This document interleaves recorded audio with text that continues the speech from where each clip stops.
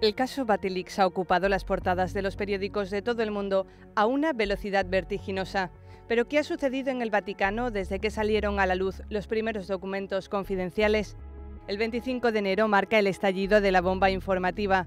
El programa de televisión L'Intocabili desveló las cartas en las que uno de los oficiales del Gobernatorato Vaticano, Monseñor Carlo María Viganò, alertaba al Papa de la designación a dedo de obras públicas que costaban al Vaticano mucho más del precio real. Tenía razón, pero su modo de poner orden levantó demasiadas ampollas y la situación se hizo insostenible. El Papa decidió nombrarlo nuncio en Estados Unidos. En la carta, Vigano pedía al Papa que la medida no fuera vista como una represalia y daba el nombre de quienes se oponían a su gestión. Al día siguiente, el portavoz del Vaticano, Federico Lombardi, hizo un comunicado en el que mostraba su amargura por la difusión de documentos reservados y dejaba abierta la posibilidad de emprender acciones legales.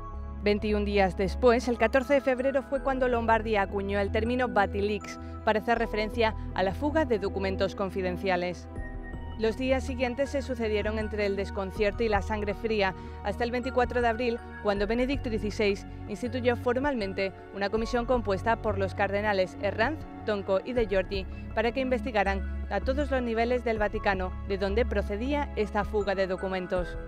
Con la publicación del libro Los papeles secretos de Benedicto XVI, el 19 de mayo, se produce una segunda fuga de documentos. El libro del periodista italiano Gianluigi Nuzzi muestra unos 100 documentos que han salido de la misma mesa del Papa. Casi un mes después de la constitución de la Comisión Cardenalicia, el 23 de mayo, Paolo Gabriele, el mayordomo del Papa, fue arrestado por la Gendarmería Vaticana.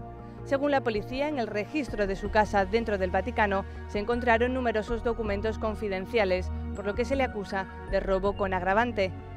Pocos días después tuvo lugar la primera declaración de Benedicto XVI sobre este tema.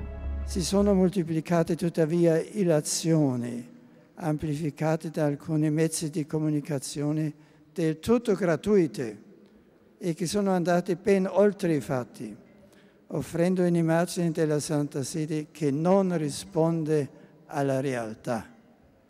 Desidero per questo rinnovare la mia fiducia e il mio incoraggiamento ai miei più stretti collaboratori e a tutti coloro che quotidianamente, con fedeltà, spirito di sacrificio e nel silenzio mi aiutano nell'adempimento del mio ministero.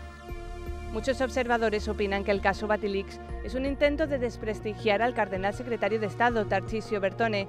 Quizás por eso el 4 de julio el Papa envió una carta a Bertone en la que ratificaba su confianza en él. Entre el 5 de junio y el 21 de julio tuvieron lugar los tres interrogatorios al mayordomo del Papa. Hasta el mismo 21 de julio, Paolo Gabriel estuvo detenido en una de las celdas del Vaticano. Ese mismo día, el juez instructor del caso consideró que podía pasar a estar bajo arresto domiciliario. Tres días después, el 24 de julio, los abogados de Paolo Gabriele dijeron que el mayordomo había enviado una carta a Benedicto XVI en la que pedía perdón y afirmaba que actuó solo, sin cómplices y sin presiones externas.